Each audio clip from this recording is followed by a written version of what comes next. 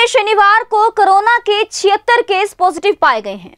इनमें से 22 case antigen test तथा चौवन केस आरटीपीएसआर से पाए गए हैं।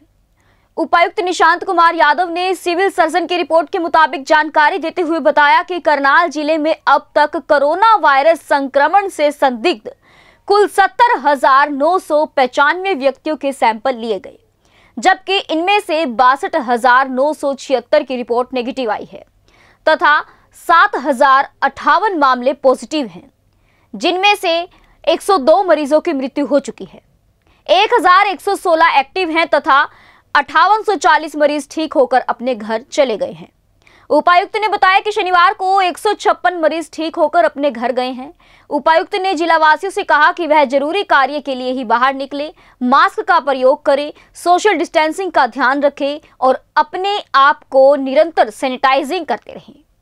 इस मौके पर जिला उपायुक्त ने करनाल की जनता से अपील करते हुए कहा कि ज़िले में कोविड 19 की जाँच का कार्य किया जा रहा है, जिससे घबराने की ज़रूरत नहीं है। सिविल तथा कल्पना चावला मेडिकल कॉलेज की टीम दुकानों पर जाकर कोविड 19 के टेस्ट कर रही है।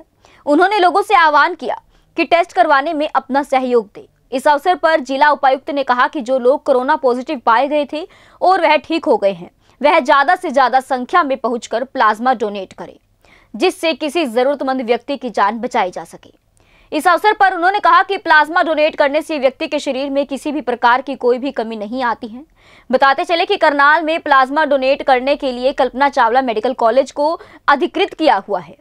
जिला उपायुक्त ने कहा कि करनाल ज़िले में कोरोना के मरीजों के ठीक होने का आंकड़ा इक्यासी प्रतिशत है।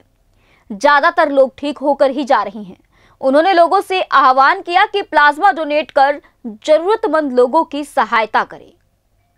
करनाल से समाचार एक्सप्रेस की रिपोर्ट। आप सबको मेरा नमस्कार। कोरोना से संबंधित कुछ इम्पोर्टेंट इन्फॉर्मेशन मैं आपसे शेयर करना चाहूँगा।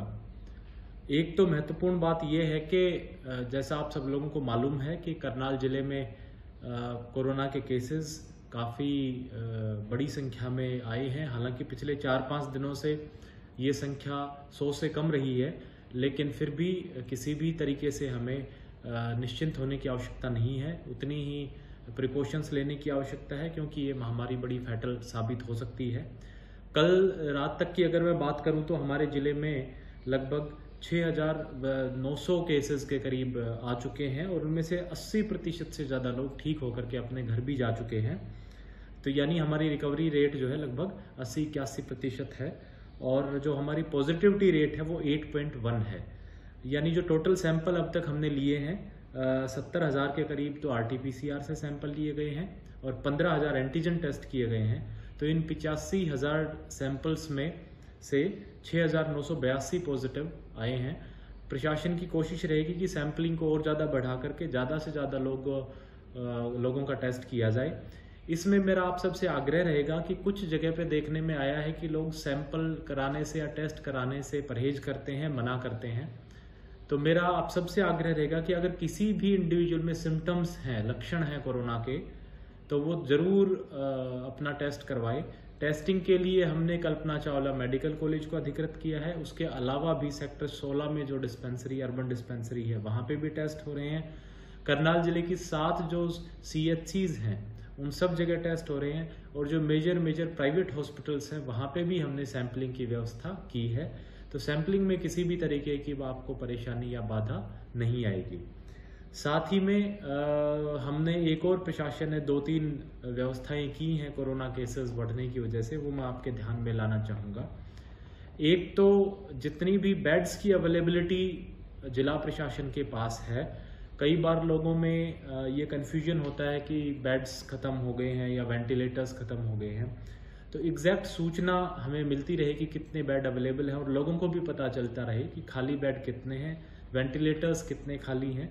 ये सारी हमने इसके लिए एक ऑनलाइन पोर्टल तैयार किया है और ये पूरी जानकारी है ये आपको जिला प्रशासन की website Karnal dot gov dot in इस पे अवेलेबल रहेगी।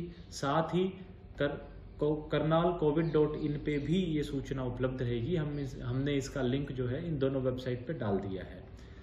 यानी कि अब करनाल ज़िले का कोई भी नागरिक बेड अवेलेबिलिटी के बारे में वेंटिलेटर्स की अवेलेबिलिटी के बारे में इन दोनों वेबसाइट्स पे लिंक से सूचना प्राप्त कर सकता है।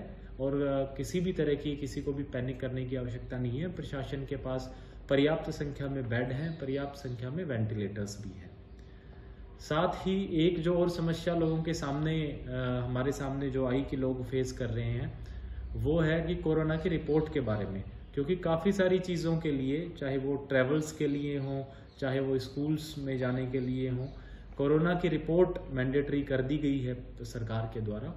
तो अगर कोई भी इंडिविजुअल जो भी सैंपल देता है और अपना जो मोबाइल नंबर दर्ज करवाता है, प्रशासन ने ये व्यवस्था की है कि उस मोबाइल नंबर पर अगले दिन जैसे ही रिपोर्ट आती है कोरोना की तो मैसेज आ जाएगा और उस इंडिविजुअल को, उस नागरिक को मैसेज के ज़रिए सूचित किया जाएगा कि आपकी जो आपने कोरोना का टेस्ट करवाया था, उसकी रिपोर्ट पॉजिटिव है या नेगेटिव है और इवन जो उसकी एक कॉपी है पीडीएफ फ़ाइल में, वो भी उस मैसेज के ज़रिए उसका लिंक दिया जाएगा ताकि वो अपनी रिपोर्ट की कॉपी भी डाउनलोड कर सके और अगर कहीं भी उस रिपोर्ट की आवश्यकता है तो उसको साथ कैरी कर सके।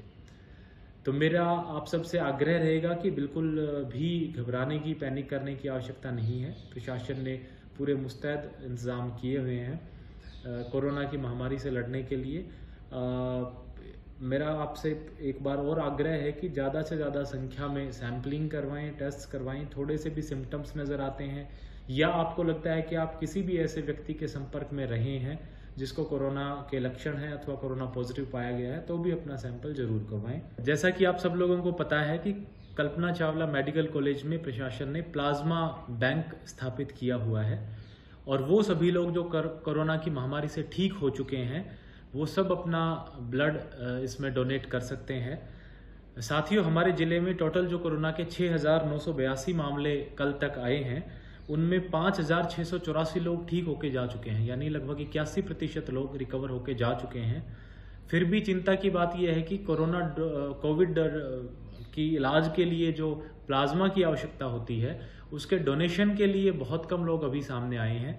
तो मैं आप सबसे अपील करूँगा कि जो लोग कोरोना से स्वस्थ हो चुके हैं, ठीक हो चुके हैं, और वो, उनके अगर शरीर में कोई और, कोमोरबिडिटीज़ नहीं है, कोई और बीमारी नहीं है तो वो सामने आए और कल्पना चावला मेडिकल कॉलेज आकर के प्लाज्मा बैंक में अपना प्लाज्मा डोनेट करें, क्योंकि आपका डोनेट किया हुआ प्लाज्मा आगे काफ़ी लोगों की जान बचा सकता है, इसलिए मैं आप सबसे अपील करना चाहूँगा।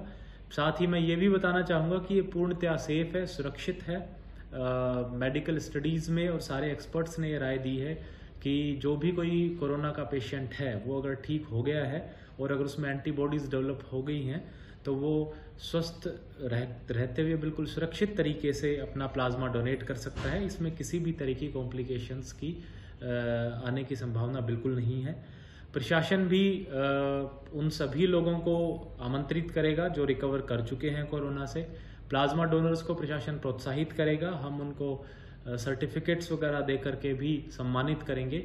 इसलिए मेरा आप सबसे आग्रह है कि जो जो लोग कोरोना की महामारी से ठीक होकर के अपने घर जा चुके हैं, जो कोरोना योद्धा हैं, वो आगे आए और कल्पना चावला मेडिकल कॉलेज में जो प्लाज्मा बैंक बनाया हुआ है, वहाँ आकर के अपना प्लाज्मा ज़रूर डोनेट करें, ताकि आपके ब्लड से, आपके प्लाज्मा से लोगों की ज़िंदगी बचाई जा सके। आप सबका बहुत बहुत धन्यवाद। जय हिंद।